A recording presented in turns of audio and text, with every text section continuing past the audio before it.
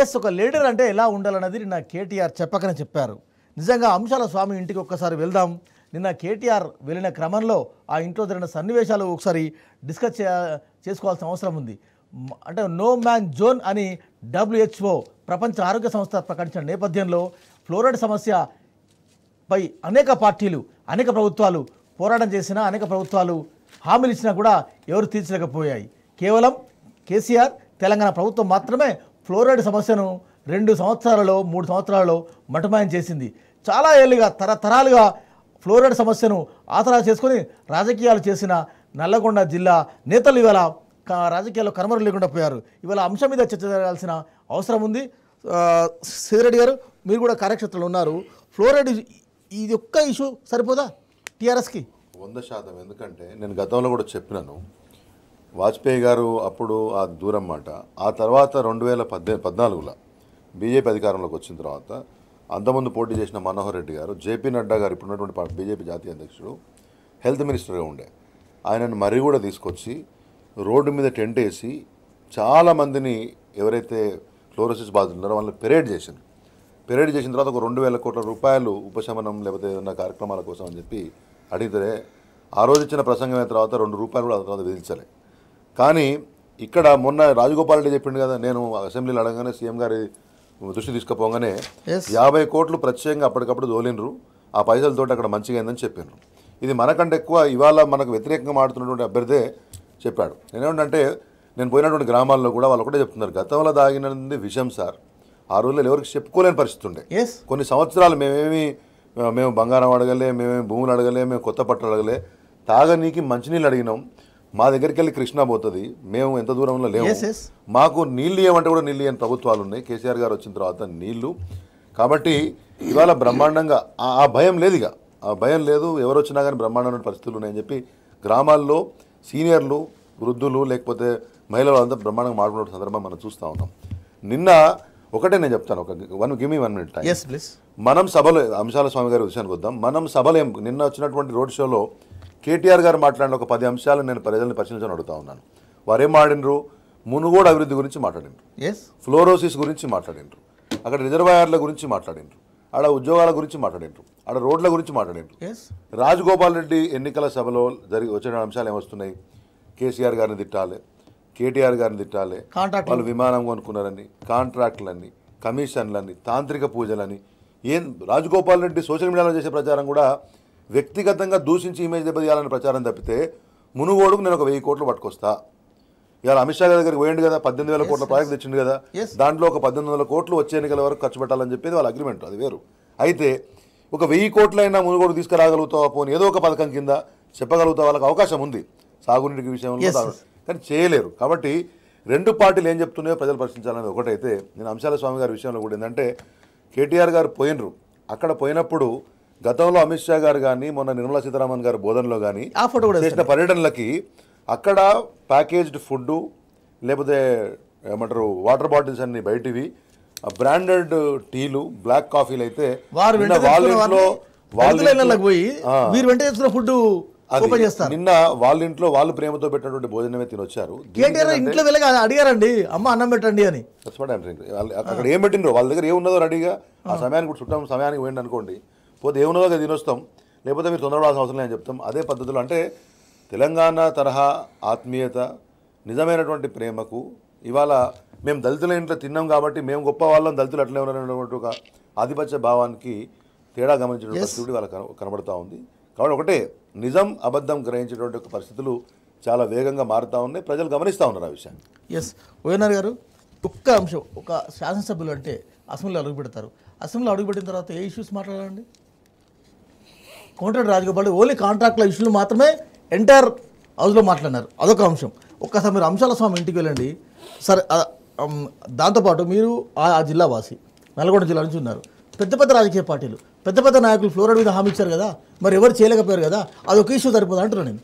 ఇప్పుడు ఈ మూడు విషయాలు మీరు రేజ్ చేసిన అంశాలు మనం చూస్తే మొదలు అంశాల స్వామి ఇంటికి పోతే ఈ ఫోటో మీరు వేసినారు కదా? ఎస్ ఎస్ ఇప్పుడు ఆ ఫోటోలో నేను చెప్పేది ఏంటంటే అక్కడ ఉన్న ఫుడ్ పరిశీలించండి. ఎస్ దాని పక్కనే ఇప్పుడు వాళ్ళు పోయినది కూడా మీరు వేయండి. బీజేపీ నాయకులు పోయి తిన్న ఫుడ్ కూడా వేయండి. అక్కడ మీకు ఏంటంటే బయట నుంచి తెచ్చిన అన్ని ఫుడ్ కూడా చూడండి. ఇక్కడ గిన్నెలో పచ్చి పులుసు క్లియర్ కనిపిస్తుంది. ఆ గిన్నెలో పప్పు కనిపిస్తుంది. వాళ్ళు అంశాల స్వామి ఏదైతే మధ్యాహ్నం భోజనం వాళ్ళు వండుకుందామని వాళ్ళ తల్లిదండ్రులు పిల్లలు తిందామనుకున్నారో ఆ భోజనమే కేటీఆర్ గారు తిన్నారు నిన్న. ఎస్ నేను అనేది ఏంటంటే ఎట్లుంటుందంటే ఆత్మీయత అనేది ఉంటుంది. ఉన్న భోజనాన్ని బయట నుంచి తెచ్చుకొని తినే నాయకులు కాదు కేసీఆర్ గారు. దళితుల గుజరాత్ నాయకులకు తెలంగాణ నాయకులకు ఉన్న తేడా ఏంటంటే అంశాల స్వామి ఆ మధ్యాహ్నం ఏంది ఆ కుటుంబం ఏం తింటుందో అదే భోజనాన్ని కేటీఆర్ గారు తిన్నారు. అదే పచ్చిపులు తిన్నారు అదే పప్పు తిన్నారు. చేయి గడికి వచ్చిండు అదే మిషన్ భగీరథ నీళ్ళు ఏ మిషన్ భగీరథ నీళ్ళు అయితే అంశాల స్వామి ఇంట్లో కుటుంబ సభ్యులందరూ తాగుతున్నారో నల్ల ద్వారా? అదే మిషన్ భగీరథ నీళ్ళు అదే నల్ల ద్వారా? కేటీఆర్ గారు కూడా చేతులు కడుక్కొని మంచి లాగా వచ్చిన బాబతు ఎస్ మీరు బాటిల్లో తీసుకుపోవాలి అదేంది ఆ దీనిలో తీసుకుపోవాలి. అవన్నీ తీసుకుపోవాలి కేవలం నామ మాత్రంగా దళిత నిండా తిన్నట్టుగా ఆడ ఆడ కూసోబెట్టి ఫోటోలు తీసుకొని ఈ ఫోటోలు తీసినాక ఏం చేస్తారో ఇక అది ఎవరన్నా మనకు తెలియదు కానీ తింటారో తర్వాత ఫోటోల తర్వాత కూడా అది కూడా ఇదే. అది కూడా డ్రామా. ఎస్ అంటే మీరు ఏంటంటే ప్రజల కోసము రాజకీయాలు చేయరు మీరు. మీరు ఏమైనా మీ యొక్క ప్రచారం కోసము సోషల్ మీడియా కోసము ఫోటోల కోసము ఈ చేస్తున్న రాజకీయం ఈ గుజరాత్ బీజేపీ నాయకుల రాజకీయం. ఇక్కడ అది కాదు. టీఆర్ఎస్ పార్టీ అనేది ఇక్కడ తెలంగాణ ప్రజలకు ఒక ఇంటి మనిషి లెక్క ఒక ఇంటి పార్టీ సొంత పార్టీ లెక్క ఫీల్ అవుతున్న పార్టీ టీఆర్ఎస్ పార్టీ. కాబట్టి అట్లా అట్లాంటి ప్రవర్తన ఉంటుంది. మీది ఇక్కడ పార్టీ కాదు మీకు ఇక్కడ ప్రేమ లేదు. ఈ బీజేపీ నాయకులకు తెలంగాణకు సంబంధించిన అంశాల మీద దేని మీద మీరు మాట్లాడరు కాబట్టి మీది పరాయి పార్టీ అని అక్కడ మున్గోడు ప్రజలు ఇలా ఫీల్ అవుతున్నారు. ఎస్ బీజేపీని పరాయి పార్టీగా ఫీల్ అవుతున్నారు. రాజగోపాల్ రెడ్డి పరాయి వ్యక్తిగా చూస్తున్నారు ఇవాళ. కుసుకుంట్ల ప్రభాకర్ రెడ్డి పక్కా లోకల్ అంటున్నాడు ఆయన. ఎస్ పక్కా లోకల్ ఆయన నిజం కూడా పక్కా లోకల్ వ్యక్తి. రాజగోపాల్ రెడ్డి గారు అరే పిలిస్తే వచ్చే వ్యక్తిని వదిలిపెట్టి ఈయన ఫోన్లు ఎత్తని వ్యక్తి కోసం ఎవడు ఓటేస్తారండి. ఎందుకు వేస్తారు? ప్రజలంతా మూర్ఖులా? కాబట్టి ప్రజా అభిమానాన్ని చూరగొన్న నాయకులను కేటీఆర్ గారు నెంబర్ వన్గా ఉంటారు. డ్రామాలు మీరు చేస్తున్నారు ప్రజల కోసము రాజకీయాలు చేస్తున్నది ప్రజల అభివృద్ధి కోసం రాజకీయాలు చేస్తుంది టీఆర్ఎస్ పార్టీ. రెండో అంశం మీరు అడిగినారు. ఇప్పుడు ఈ ఫ్లోరో ఫ్లోరైడ్ సంబంధించి కూడా తొంభై ఆరులో వాజ్పేయి గారు ప్రైమ్ మినిస్టర్ ఎన్నిక ఇదే అంశాల స్వామిని తీసుకుపోయి ఒక టేబుల్ మీద పండబోయి ఇదే అంశాల స్వామిని. ఆ వయసు ఉన్నప్పుడు. ఈయన ముప్పై సంవత్సరాలు ఉన్నాయండి ఇప్పటికీ ఇరవై సంవత్సరాల వయసు ఈయన మూడు మూడేళ్ళ పిల్లగాడిలాగా పండుకొని ఉన్నాడు ఈయన ఈ వయసు ఇంత అని చెప్పినారు. ఆ ఎన్నికల్లో తొంభై ఆరులో నాలుగు వందల మంది నల్గొండ పార్లమెంట్ నియోజకవర్గానికి ఫ్లోరైడ్ బాధితులు నామినేషన్ వేసినారు. నామినేషన్ వేసి అప్పుడు వాజ్పేయి గారు అధికారంలోకి వచ్చిండు. ఒక్క పైస ఇవ్వలేదండి. ఆరు వేల కోట్లు ఇస్తాను ప్రామిస్ చేసి ఒక్క పైస ఇవ్వలే నేను అనేది వాజ్పేయి దగ్గర నుంచి మోడీ వరకు కూడా. మీకు ఎక్కడ తెలంగాణ మీద మీకు ప్రేమ చెప్పండి? ఎస్ మనుషులు సస్తుంటే ఎముకలు విరిగిపోతుంటే నువ్వు స్పందించిన తీరేంది. మొన్న మొన్న అమిత్ షా మీటింగ్ పెట్టినాడు ఇదే మునుగుడ్లా. ఏం ఏం హామీ ఇచ్చినారు? ఇక రాజగోపాల్ రెడ్డి ఏ మొక్కం పెట్టుకొని మాట్లాడుతాను ఏం హామీ వచ్చింది చెప్పు. ఒక మెడికల్ కాలేజ్ వచ్చింది. నూట నూట యాభై ఏడు మెడికల్ కాలేజ్ ఒక్క మెడికల్ కాలేజ్ రాదు. ఎనభై తొమ్మిది నవోదయ స్కూల్స్ ఒక్క స్కూల్ రాదు. ఇవాళ అదే పద్దెనిమిది వేల కోట్లు అయితే నీ లాభానికి కావాలి. ఒక వెయ్యి కోట్లు ఒక మెడికల్ కాలేజీ. పోనీ ప్రాజెక్టు కోసం కృష్ణా నీళ్ళు ఇవ్వకుండా ఇవాళ నాకు ఇంతమంది వెంకరెడ్డి గారు ఒక పాయింట్ చెప్పినారు వ్యాలిడ్ పాయింట్ పైన వచ్చే భూపరిత భూ ప- భూ పరితల మీద వచ్చే అన్నీ అయిపోయినాయి. సాగునీటి తాగునీటి పని అయిపోయింది. కానీ ఫ్లోరైడ్ మొత్తం భూమిలో ఇంకుంది ఇంకా. కృష్ణా జలాలు వచ్చి తా సాగునీరు వస్తేనే ఆ ఫ్లోరైడ్ మొత్తం భూమి నుంచి పోతుంది. ఇవాళ రంగారెడ్డి ఎత్తిపోతల భాగంగా పాలమూరు రంగారెడ్డిలో ఇవాళ నక్కలగండి. ఇవాళ కృష్ణ శివనగూడెం రిజర్వాయర్. ఈ రిజర్వాయర్లన్నీ కావాలంటే కృష్ణాలో మా వాటా తేల్తామని కేటీఆర్ గారు కేసీఆర్ గారు ఒక ప్రశ్న ఇచ్చిన ప్రజా ఆశీర్వాద సభలో ఇంతవరకు జవాబు లేదు ఒక్కడు మాట్లాడే దాని గురించి. ఏంటంటే అహంకారం కేటీఆర్ గారు అన్నారు డబ్బు. డబ్బు బల్పుతోని మాట్లాడుతున్న మాటలు తప్పితే ప్రజల మీద వీళ్ళకి ప్రేమ లేదు ప్రజా సమస్యలు వీళ్ళకి. మీరు- అధికారమే పరమావధి. గెలవాలి. మీరు ఆ జిల్లావాసి అనేక రాజకీయ పార్టీలు పెద్ద పెద్ద నేతలు ఓటు దండుకున్నారు తప్ప ఫ్లోరైడ్ సమస్యలు ఎందుకు పరిష్కరించగల చిత్తశుద్ధి లేదు. వాళ్ళకు ఫ్లోరైడ్ సమస్య కాదు. మీరు ఏ సమస్య మీద వాళ్ళకు చిత్త ప్రజా సమస్యల మీద వాళ్ళ పరి- ప్రజల సమస్యలకు శాస్త్రీయ పరిష్కారాల పట్ల వాళ్ళకు చిత్తశుద్ధి ఉండదు. ఎంతసేపు ఉన్నా అధికారమే పరమావధి.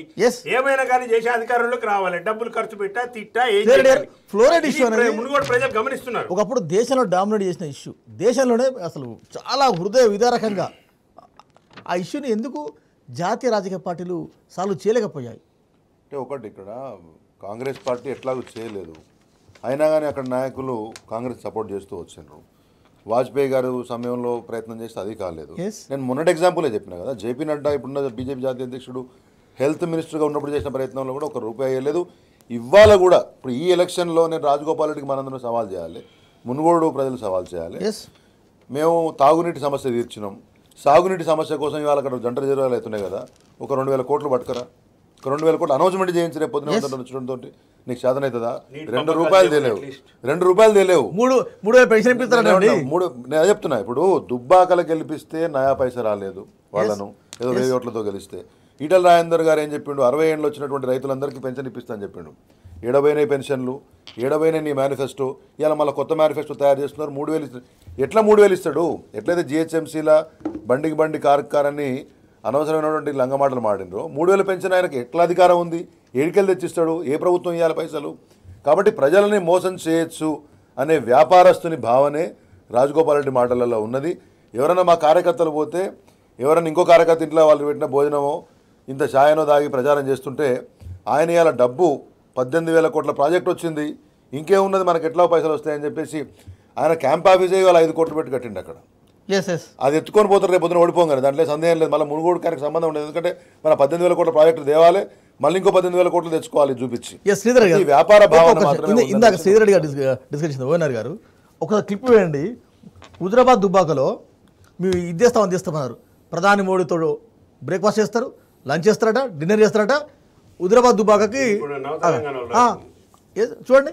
ఇప్పుడు నేనేమంటున్నాంటే ఇప్పుడు నిన్న కేటీఆర్ గారు స్పష్టంగా చెప్పినారు మంత్రి జగదీష్ రెడ్డి గారు స్పష్టంగా చెప్పినారు. ఎనిమిది సంవత్సరాల క్రితం తెలంగాణ రాష్ట్రం రాకముందు మునుగోడులో నేను స్వయంగా చూసినానండి.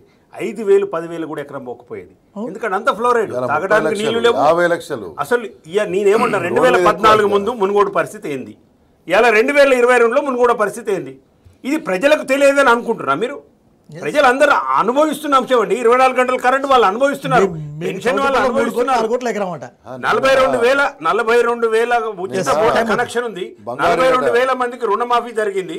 లక్షా పదమూడు వేల మందికి ఆ నియోజకవర్గంలో రైతు బంధు వచ్చింది. వీళ్ళందరూ లబ్ధిదారులు.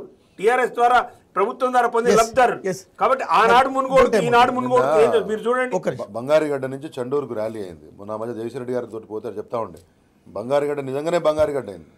ఐదు వేలకు పదివేలకు ఇరవై వేలకు పోయిన భూమి ఇవాళ రోడ్డు మీద మీరు కొనవసరం కాదు లోపలికి పోతే వాళ్ళు సంతోషంగా చెప్తా. ఉన్నారు.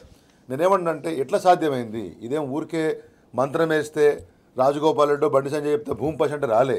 ఆడికి నీళ్ళు వస్తే అయింది ఆడికి రైతు బంధు వస్తే అయింది అక్కడికి రైతు బీమా వస్తే అంటే వాళ్ళకు ఒక సెక్యూరిటీ వస్తే అయింది. ఆడ భవిష్యత్తు మీద భరోసా వస్తే అయింది ఆ రిజర్వాయర్లు వస్తున్నాయి కాబట్టి